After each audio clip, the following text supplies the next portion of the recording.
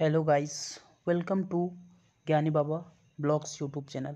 इस वीडियो के अंदर हम बात करने वाले हैं भारत के इतिहास का एक टॉपिक है, सोलह महाजनपद काल, जो बहुत ही महत्वपूर्ण है। इसमें हम आज ट्वेंटी सिक्स प्रश्न कराने वाले हैं तो चलिए वीडियो को शुरू करते हैं।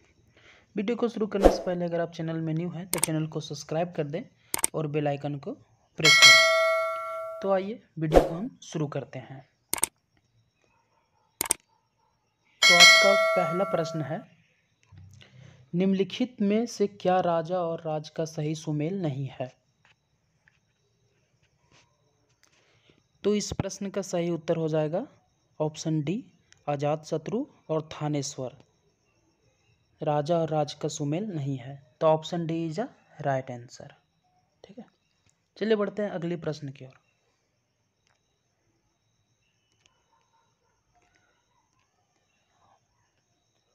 उज्जैन का प्राचीन नाम क्या था? तक्षशिला, इंद्रप्रस्था, अवंतिका, इनमें से कोई नहीं। तो इस प्रश्न का सही उत्तर है ऑप्शन सी, अवंतिका। उज्जैन का प्राचीन नाम था Avantika. Avantika is a right answer चलिए बढ़ते हैं नेक्स्ट प्रश्न में।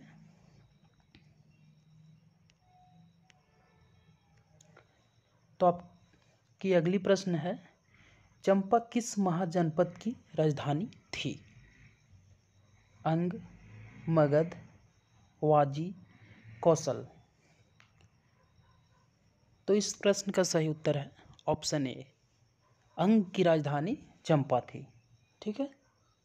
Option A is right answer. ठीक है दोस्तों? चलिए बढ़ते हैं अगले प्रश्न की ओर।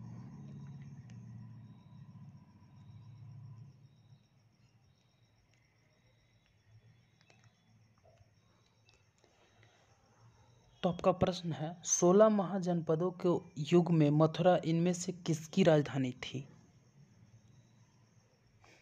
सूर्यसेन, वत्स, वाजी काशी तो इस प्रश्न का सही उत्तर है option A, Suryasen. Suryasen is a right answer. चलिए बढ़ते हैं अगली प्रश्न की ओर। तो आपका प्रश्न है, निम्न में कौन सा सुमेलित नहीं है? ऑप्शन है वत्स, कौशाम्बी, अंग, चंपा, कौशल अहिछत्र मत्स्य, विराटनगर। तो इस प्रश्न का सही उत्तर हो जाएगा option C, Kaushal Ahichhatra option C is a right answer.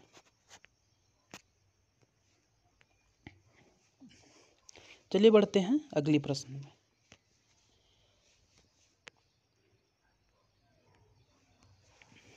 तो प्रश्न है, निम्न में से किस बौद्ध ग्रंथ में छठी शताब्दी ईसा पूर्व के सोलह महाजनपदों के विषय में सूचना मिलती है? तो बौद्ध धर्म के किस ग्रंथ में सोलह महाजनपद की सूचना मिलती है? तो इस प्रश्न का सही उत्तर हो जाएगा ऑप्शन ए, अंगुत्तर निकाय, जिसमें सोलह महाजनपदों की सूचना मिलती है, जो एक बौद्ध धर्म की ग्रंथ है, पुस्तक है, ठीक है? चलिए बढ़ते हैं अगली प्रश्न की ओर।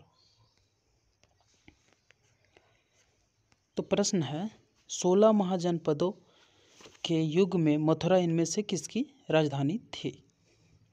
लगता है दोबारा से क्वेश्चन प्रिंट हो गया दोस्तों। चलिए इसका उत्तर दे देते हैं। इसका उत्तर है सही, ये सूर्य सेन ठीक है? चलिए चलिए बढ़ते हैं अगली प्रश्न की ओर।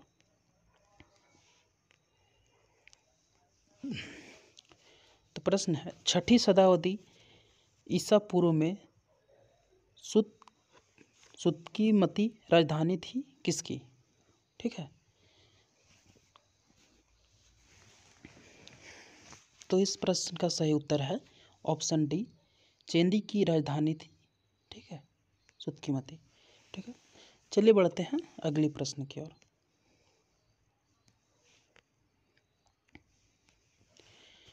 प्रश्न है, छठी शताब्दी ईसा पूर्व का मत्स्य महाजनपद स्थित था? कहाँ पे? तो इस प्रश्न का सही उत्तर है, ऑप्शन सी, राजस्थान। राजस्थान में स्थित है मत्स्य महाजनपद। ठीक है दोस्तों, चलिए बढ़ते हैं अगली प्रश्न में।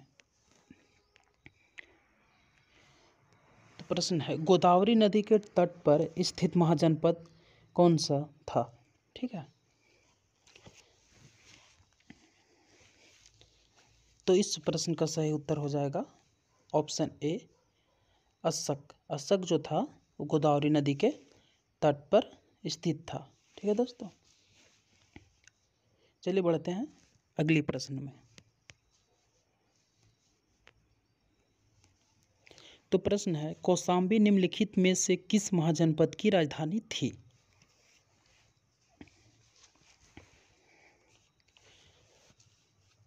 तो इस प्रश्न का सही उत्तर है ऑप्शन बी, वत्स। कौशाम्बी जो थी, वो वत्स की राजधानी थी। ठीक है दोस्तों? Vatsa is the right answer ठीक है? चलिए बढ़ते हैं अगले प्रश्न की ओर।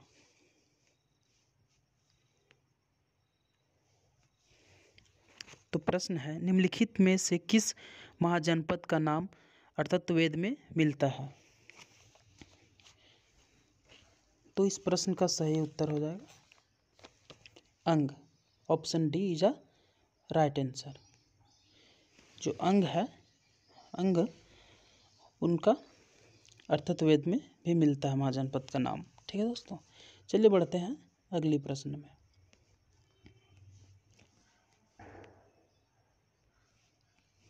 तो प्रश्न है, सोलह महाजनपदों में कुल कितने महाजनपद उत्तर प्रदेश में स्थित हैं? तो इस प्रश्न का सही उत्तर है आठ। ठीक है दोस्तों option C is a right answer आठ महाजनपदों जो थे, वो उत्तर प्रदेश में स्थित थे। चलिए बढ़ते हैं अगली प्रश्न की ओर। तो प्रश्न है, निम्नलिखित में से कौन सा महाजनपद आज के समय में पाकिस्तान क्षेत्र में स्थित है? तो इस प्रश्न का सही उत्तर हो जाएगा ऑप्शन बी, गांधार। जो गांधार है, वो पाकिस्तान में स्थित है। ठीक है दोस्तों, चलिए बढ़ते हैं अगले प्रश्न की ओर।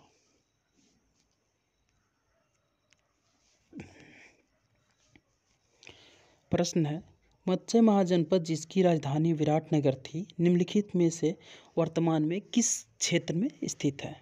ठीक है। तो इस प्रश्न का सही उत्तर हो जाएगा ऑप्शन डी, जयपुर राजस्थान। अभी जयपुर राजस्थान में स्थित है। ठीक है दोस्तों? चलिए बढ़ते हैं अगली प्रश्न की ओर।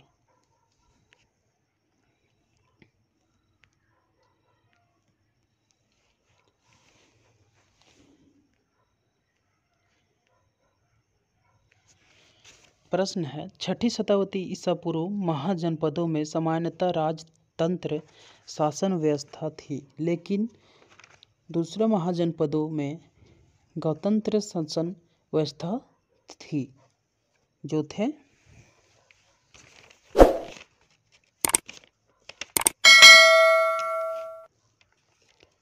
तो इस प्रश्न का सही उत्तर हो जाएगा ऑप्शन सी वज्जी मल ठीक है दोस्तों?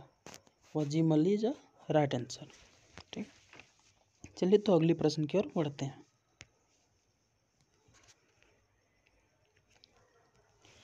आपका प्रश्न है, निम्नलिखित में से कौन सा महाजनपद बुंदेलखंड क्षेत्र में स्थित था? ठीक है दोस्तों? तो इस प्रश्न का सही उत्तर है ऑप्शन सी, चेंदी। चेंदी जो था, वो बुंदेलखंड में स्थित था। ठीक है दोस्तों? Chedi is a right answer. चलिए बढ़ते हैं अगली प्रश्न की ओर। तो प्रश्न है, निम्नलिखित में से किस महाजनपद की राजधानी चंपा थी? तो इस प्रश्न का सही उत्तर हो जाएगा ऑप्शन बी, अंग। अंग की राजधानी चंपा थी। ठीक है दोस्तों? तो चलिए बढ़ते हैं अगली प्रश्न की ओर।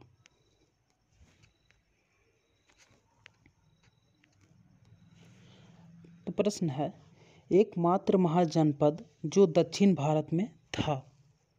ठीक है? दोस्तों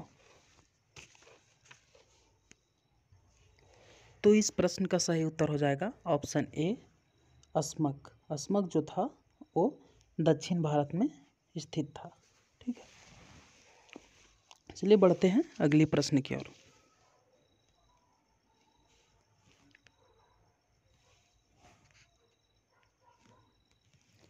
तो प्रश्न है कंबोज महाजनपद, जिसकी राजधानी हाटक थी, निम्नलिखित में से आज किस वर्तमान क्षेत्र में स्थित था?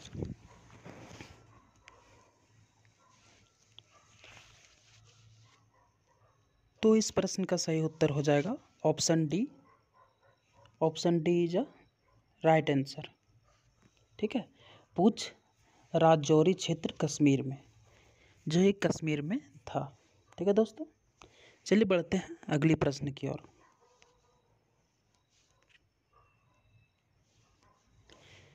तो आपका प्रश्न है, प्राचीन सरस्वती का नगर विन्यांस किस आकृति का था? ठीक है दोस्तों, इसमें पूछा गया है, प्राचीन सरस्वती का नगर किस आकार में था? ठीक है तो इस प्रश्न का सही उत्तर हो जाएगा ऑप्शन डी अर्धचंद्राकार अर्धचंद्राकार की आकार में था। है दोस्तों। चलिए बढ़ते हैं अगली प्रश्न की ओर।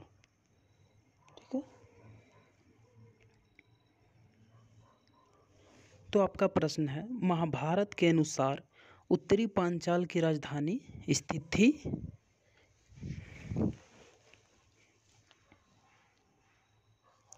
तो इस प्रश्न का सही उत्तर हो जाएगा ऑप्शन सी अहिचा छत्र में। Option C is a right answer. ठीक है? Option C is right answer चलिए बढ़ते हैं अगली प्रश्न की ओर।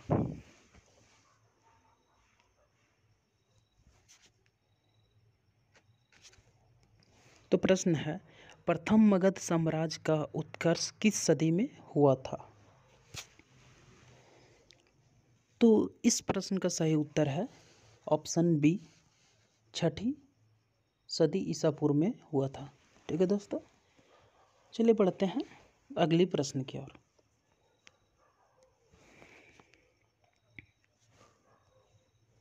तो प्रश्न है, निम्नलिखित में से मगध का कौन सा राजा सिकंदर महान का समकालीन था? तो इस प्रश्न का सही उत्तर हो जाएगा, जो सिकंदर महान का समकालीन थे। तो इस प्रश्न का सही उत्तर है ऑप्शन बी धनानंद। धनानंद जो थे, वो सिकंदर का समकालीन थे। ठीक है दोस्तों, चलिए बढ़ते हैं अगली प्रश्न की ओर।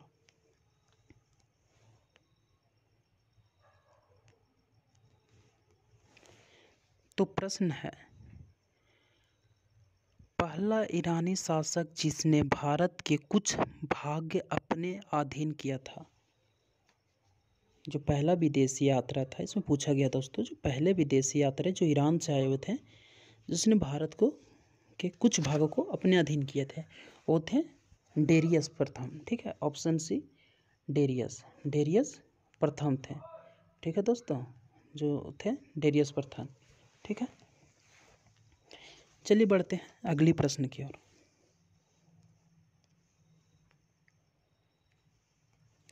तो प्रश्न है, मगध के राजा अजात शत्रु का किस गणराज्य के साथ युद्ध हुआ था?